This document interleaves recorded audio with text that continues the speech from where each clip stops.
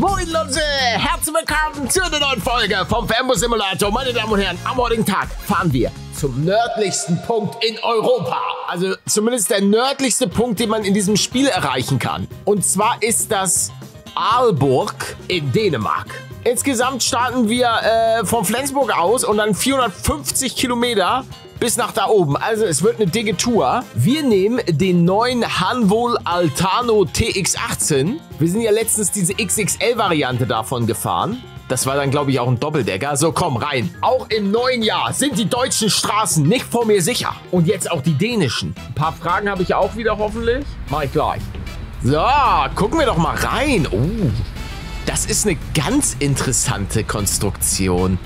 Das ist ja, gehst direkt hier die Treppe hoch und dann sitzt du über dem Fahrer. Das kenne ich so auch nicht. Ist ja auch ätzend. Guck mal, der kann dir auf gut Deutsch gesagt da immer aufs Lenkrad gucken. So, Zielanzeige. Z. Okay, Z funktioniert nicht. Chillig. Dann machen wir den Wagen noch einfach mal an. Ne, die, die, ganzen Settings von dem sind anders. Ey, hier ist doch was falsch. Ist er schon wieder aus, oder was? Eine Minute 37 Sekunden später.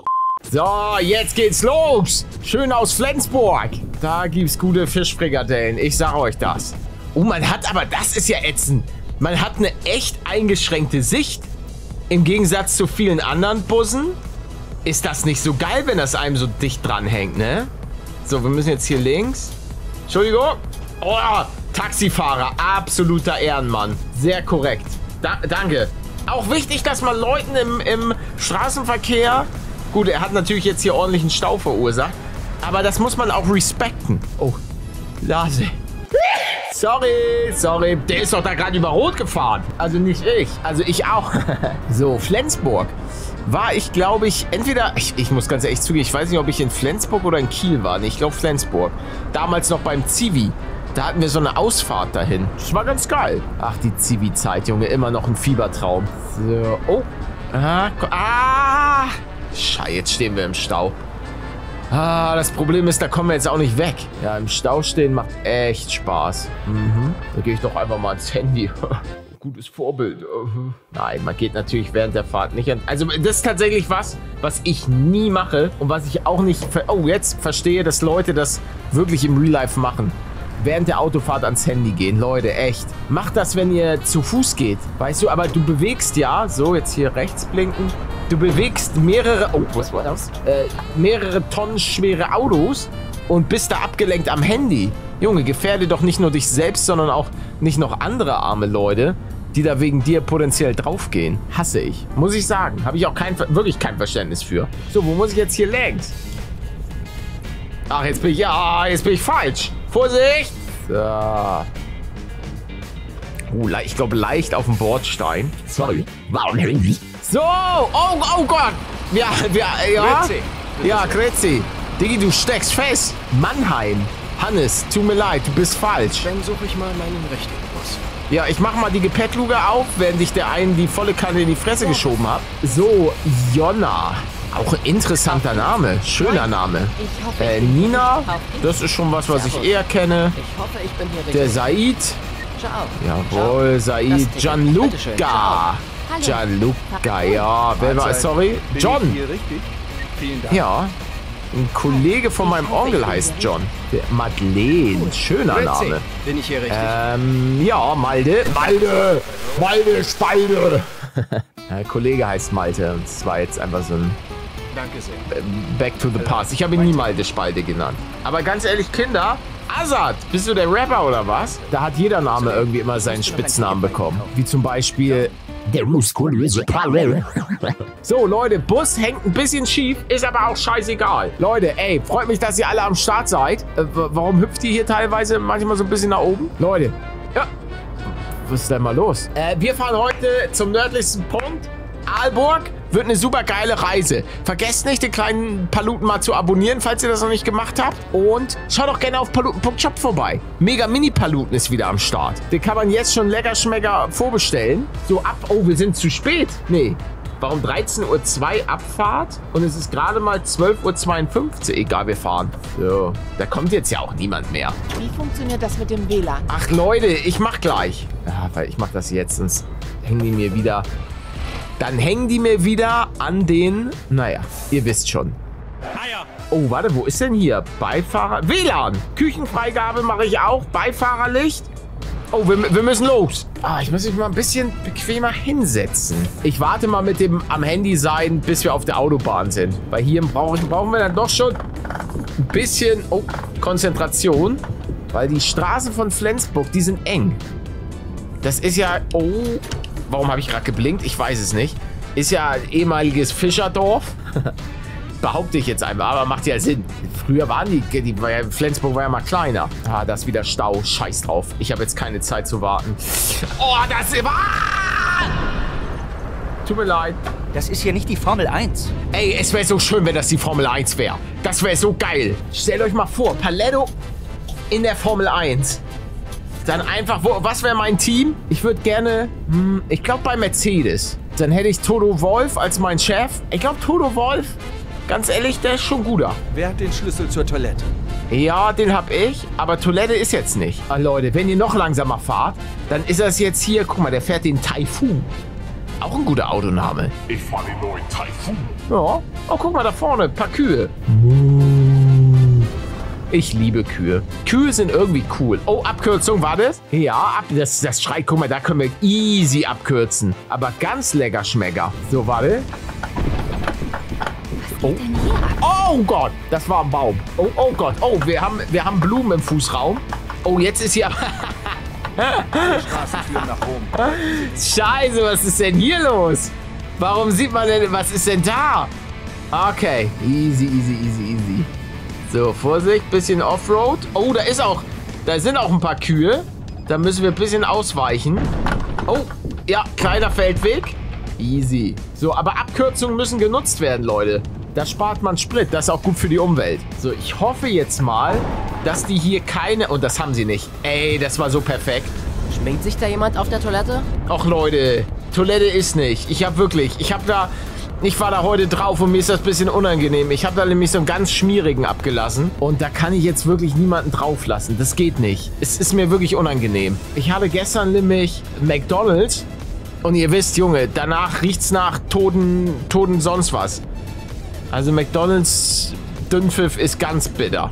So, warte mal, jetzt mache ich mal, genau, Tempomat an. Und dann können wir jetzt auch mal gucken, ob ihr vielleicht der eine oder äh, andere Frage an Palle hattet. Da hat sich jemand im WC eingesperrt oder kommt Nein, nicht mehr heraus. das ist mein, das ist mein Flattermann, der da noch ist. Kommt irgendwann vielleicht auf einer anderen Map eine Arc Staffel 2. Ja, das Ding ist, Mengel ist einfach noch crank. Also, oh, was ist das denn hier? Das ist die Grenze. Als ob.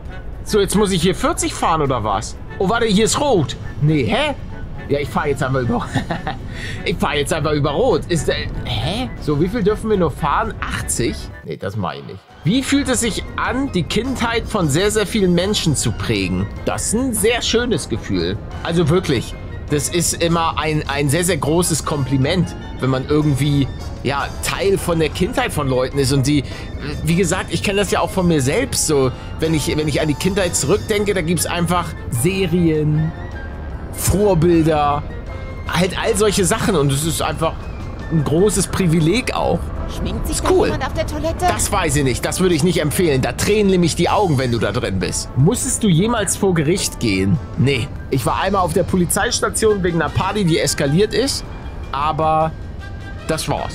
Senf oder Mayo? Junge, Mayo. Ich, ich liebe Mayo auf jeden Fall mehr. ich komme in die Toilette nicht rein. Ja, das ist, weil ich gestern zu viel Mayo. Die, da habe ich so viel Mayo auf die Pommes gemacht. Mm, oh, Pommes mit Mayo, Alter. Geil. Oh, wenn du jeden Beruf außer YouTuber wählen könntest und dass du auch super gut da drin wärst, welcher wäre es dann?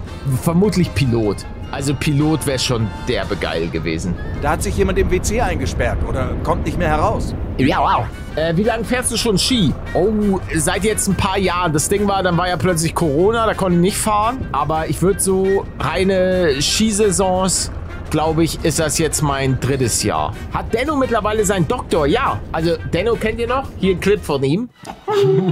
Schmeckt gar nicht schlecht. Ich schmecke nicht. Aber eigentlich hätten die Spätzle auch weglassen können. Das wäre eigentlich noch besser. Hast du vor, mal wieder VR-Content zu machen? Ja, aber erst im neuen Haus. Also wie ihr hier auch seht, hier ist gar kein Platz da dafür. auf der Toilette? Und das ist auch super ätzend. Das ist auch, das muss ich sagen, nervt mich unfassbar, dass es sich mit dem Hausbau halt alles so verschiebt. Und dass ich halt viele Sachen in der Zeit nicht umsetzen konnte, die eigentlich geplant waren. Was sind deine absoluten Lieblingsserien? Ihr wisst es, Leute. Scrubs, absolut. Es ist, oh, ist einfach die Nummer eins. Und aktuell komme ich nicht wirklich dazu, Serien zu schauen. Wird es auch Könnten ein Sie mal mega... das WC freischalten? Nein, Mann, ich weiß, ich könnte es jetzt mal machen, weil wird es auch ein mega evil Paluten-Kuscheltier geben. Ähm, lasst euch überraschen. Wenn du die Zeit und Nerven hättest, würdest du nochmal ein Projekt wie Freedom machen. Ja klar. Aber man darf auch nicht vergessen, dass die Zeiten sich natürlich auch einfach geändert haben. Also ich könnte wirklich allein von der Zeit her sowas wie Freedom nicht nochmal umsetzen. Und das Ding ist auch, dass natürlich auch die Zeit von Manuel, die Zeit von Maudado, die Zeit von Zombie, das hat sich einfach alles geändert. Ich bin froh, dass, dass damals die Sterne in so einer geisteskrank passenden Konstellation waren, sodass wir Freedom umsetzen konnten. Und das Schöne ist, oh, Alter, wie, wie hobelig ist denn den? Ist das wirklich so? Hier geht's immer hoch und runter. Ähm, genau, dass das Freedom ja oh, mit den Büchern weiter erzählt wird. Wir müssen links. Oh, hier ist nur. Okay. Und vielleicht drückt die Daumen, vielleicht auch irgendwann mit einem Film oder einer Serie. Da Ich hat sich jemand im- im WC eingesperrt ja, oder ist kommt ja nicht gut. mehr Ich heraus. hab's ja im ähm, Podcast erzählt. Hört ihn euch gerne an. Nennt sich Kottbruder. Kostenlos kann man sich den anhören auf Spotify zum Beispiel. Auf jeden Fall habe ich da ja erzählt, dass wir gerade in Verhandlungen sind. Also wir haben aktuell und bis dato habe ich, glaube ich, noch nichts, äh, dass ich darüber nicht reden darf, äh, nichts anderes gehört. Und zwar haben wir sozusagen die Vermarktungsrechte. Ähm, die liegen jetzt bei einer Firma, die versucht jetzt äh, jemanden zu finden, der einen Freedom-Film oder eine Freedom-Serie realisieren Komm in die Toilette nicht rein. kann. Weil man darf natürlich nicht vergessen, also jetzt mal wirklich, das wäre alleine nicht zu stemmen. Und ähm, ja, ich bin, bin sehr gespannt. Ich hätte mega Bock auf. Also ein Freedom-Film, ein Freedom-Kinofilm wäre natürlich, Junge, das wäre so krank. Das ist natürlich auch einfach ein, ein großes Risiko, was man da, da letztlich eingeht. Auch für eine Firma, die sagt, okay, wir, wir stemmen das mit dir. Aber ich habe ja auch schon gesagt, meinte ich eben auch im Podcast, dass ähm, das an viele, viele, viele Faktoren geknüpft ist. Unter anderem haben wir gesagt, wenn ein Kinofilm oder eine Serie realisiert wird, muss ich der? Synchronsprecher sein für Paluten. Das ist einfach, so, so blöd das klingt, auch einfach Freedom, äh, die ganze Welt, das ist einfach mein, mein Baby. Ähm, das, was ich, was ich letztlich erschaffen habe.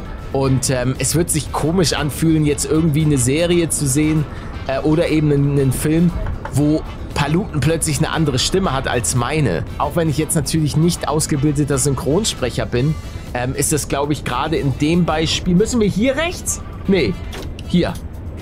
Ähm, oh, sorry. Ich kenne Taxifahrer, die besser fahren Ja, schön. Ja, dann fahr doch, Alter. Denkst du manchmal, dass es das Beste war, mit YouTube anzufangen? Also in Sachen Beruf? Natürlich. Also, Leute, das, das war die, die beste Entscheidung in meinem Leben. Muss ich allerdings mittlerweile auch so ein bisschen eingrenzen in Sachen beruflicher Natur. Weil natürlich die, die in Anführungszeichen beste Entscheidung meines Lebens war es, eine Familie zu gründen. So, das war, das ist mein, mein Lebensmittelpunkt und ähm, ja, es ist, aber es, es hat halt, dieses ganze YouTube-Ding hat mich halt zu der Person auch gemacht, Ich komme in die Toilette nicht rein. ja, die ich heute bin. Also ich glaube nicht, dass ich damals ähm, aus zum Beispiel Hamburg weggezogen wäre, wenn es nicht wegen, wegen YouTube gewesen wäre.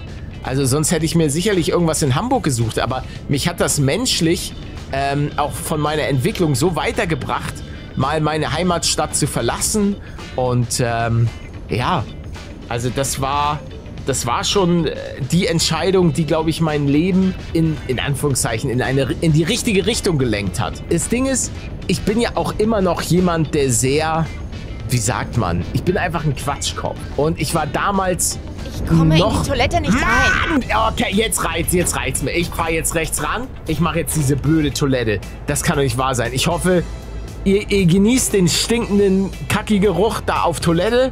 Ihr habt euch das selbst zuzuschreiben. Wo ist jetzt hier Fernlicht? Wo ist, ja hier, Luftfilteranlage, das ist doch gut. WC. So, jetzt aber. Zap, zabara.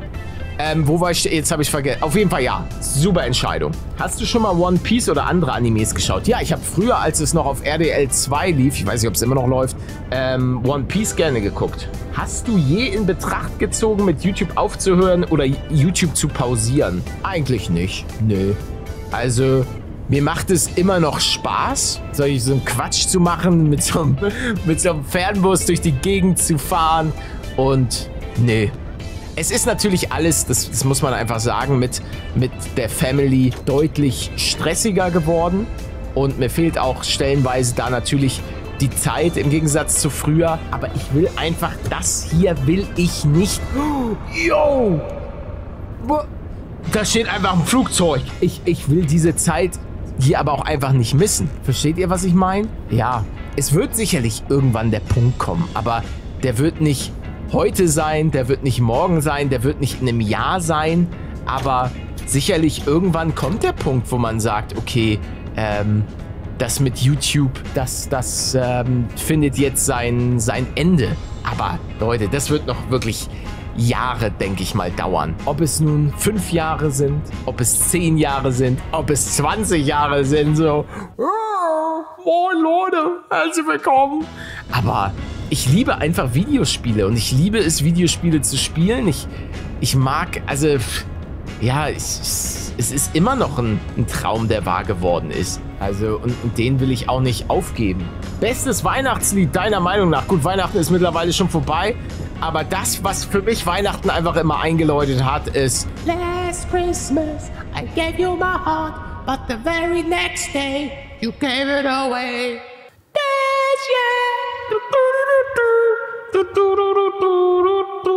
Ja.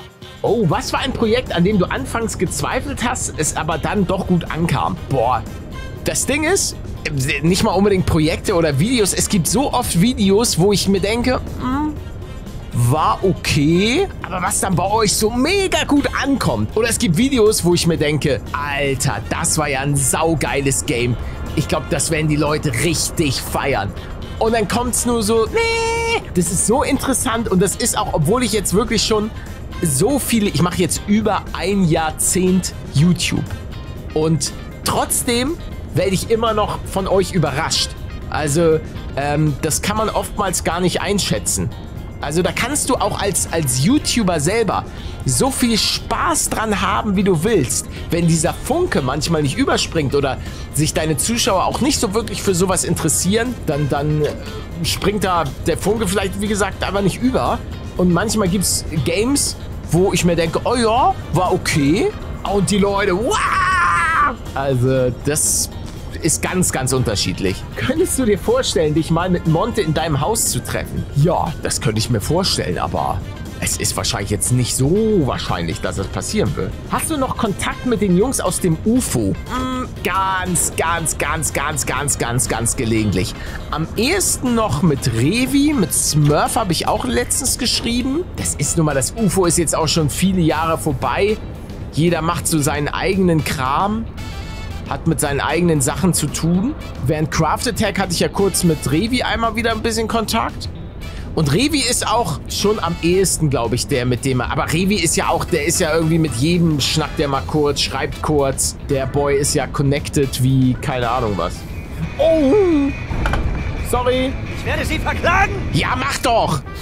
das ist geil. Wie bist du damals auf die Idee gekommen, Need for Speed aufzunehmen und hochzuladen? Ey, frag mich was leichteres. Kurz zur Info, Need for Speed war das erste Video, was ich auf YouTube hochgeladen habe. Ich weiß es nicht. Ich fand, glaube ich, Need for Speed die, die Reihe einfach geil. Und ich glaube, das Spiel kam zu der Zeit gerade frisch raus. Und dann habe ich es aufgenommen. Da war, glaube ich, nichts großartig hinter. Oh, das ist eine interessante Frage. Wenn du deiner Oma, die keine Ahnung von YouTube hat, YouTube erklären müsstest, wie würdest du das machen und würde sie das verstehen? Oh, ich weiß nicht, ob meine Oma das verstehen würde. Okay, wenn ich jetzt mal jemandem das erklären müsste, der hauptsächlich mit Fernsehen groß geworden ist. Ich würde sagen, hallo Oma. Ich bin wie so eine Art Fernsehsender und da habe ich praktisch meine eigene meine eigene Show, die zweimal am Tag für circa 15 bis 30 Minuten eine Show sendet. Und dort spiele ich Videospiele. Und wie verdienst du denn da dein Geld? Kann man davon leben? Ja, Oma, das kann man. Das ist auch immer noch interessant, gerade wenn man mit Leuten redet, die, die davon gar keine Ahnung haben, die dann immer noch fragen, ob man davon leben kann. Ja, kann man. Aber, und das hab, da habe ich mit GLP auch letztens im Podcast drüber geredet, man sieht natürlich nicht die vielen, vielen Tausenden, Zehntausenden, Hunderttausenden Leuten, die davon eben nicht leben können. Weil das muss man ja auch einfach sagen. Nur weil man mit YouTube anfängt, bedeutet das ja nicht, dass man seine Miete zahlen kann. Sondern man sieht eben ein Montana Black, ein Elias, ein Papa Platte, ein Paletto, ein Gronk und so weiter, die natürlich das große Glück hatten, dass sie irgendwie es geschafft haben, dass Leute sich das regelmäßig angucken über viele Jahre. Also ganz ehrlich, es ist immer noch verrückt, wenn, man, wenn ich überlege, dass ich jetzt schon über ein Jahrzehnt hier im Internet Videospiele zocke und mir Leute dabei zugucken. Also irgendwas muss man ja richtig machen. Uh, was war dein größter Fehler als Kind, Jugendlicher? Boah, ich habe viele Fehler gemacht. Als Kind und als Jugendlicher, aber auch natürlich selbst als Erwachsener. Als einer meiner größten Fehler, ich würde sagen, meine Einstellung zur Schule. Und ich weiß, jetzt klinge ich wie so ein... Oh, da ist ja noch ein Flixbus. Ja, weiß nicht, aber ja, also. Ich habe die Schule einfach nicht so ernst genommen, wie ich es eigentlich hätte machen sollen. Weil das Ding ist auch immer, du bist sowieso, du hängst sowieso die acht Stunden in der Schule. Dann nutzt doch die Zeit. Und da in, im Sinne, da habe ich letztens noch mit jemandem drüber geredet, der, der gerade bei mir aus der Familie, der gerade in der Schule steckt. Und haben wir auch so, wie geil wäre das, wenn ich Werden das wir von Fach, der Polizei verfolgt? Hoffentlich nicht. Dass ich nicht Spanisch durchgezogen habe. Es wäre so geil, wenn ich jetzt einfach Spanisch sprechen könnte. Das ist doch so geil. Fremdsprachen in der Schule zu, oh, oh, oh, oh, oh, oh, oh, oh, zu lernen ist so ein, ein Privileg. Weil Englisch kann ich sprechen, das habe ich in der Schule gelernt. Aber jetzt noch Spanisch zu können, manchmal müssen die Leute ja noch eine Fremdsprache lernen. Die haben dann Spanisch und vielleicht nochmal Französisch. Wie geil wäre das? Ist Also- das Tempolimit hier echt so hoch? ja, ich glaube schon. Wir fahren noch gerade mal 100 innerorts. Oh, jetzt müssen wir hier links. Oh, Vorsicht. Oh Gott. Oh, ja. So, der nördlichste Punkt Europas. Äh, was machen denn die Bayern hier? Oh, warte mal, jetzt müssen wir gucken. Ja, wartet, wartet. Alles gut. So, passt das? Jawohl. Wir sind schon da? Ja, klar. So, Leute. Ey, war super. War super kacke mit euch. Jetzt, oh nee, warte. Oh nein. Der Bus. Der Bus fährt. Mal alle raus jetzt hier. So, so, ich verabschiede mich. So, Leute, ey, viel Spaß in Aalborg. Oh. oh. Das war was. Oh. Ich hätte eine Pause machen müssen. 10 Sachschäden, 51 Prozent. Ich bin doch mehr als 51 Prozent auf der Straße gefahren. Aber na gut, Leute. Das war's mit einer weiteren Folge vom Fernbus Simulator. Hier sind jetzt noch weitere Videos. Schaut wie immer gerne auf paluten.chat vorbei für Mini-Paluten und vieles mehr. Danke fürs Zusehen. Euch noch einen schönen Tag. Haut rein. Ciao, ciao.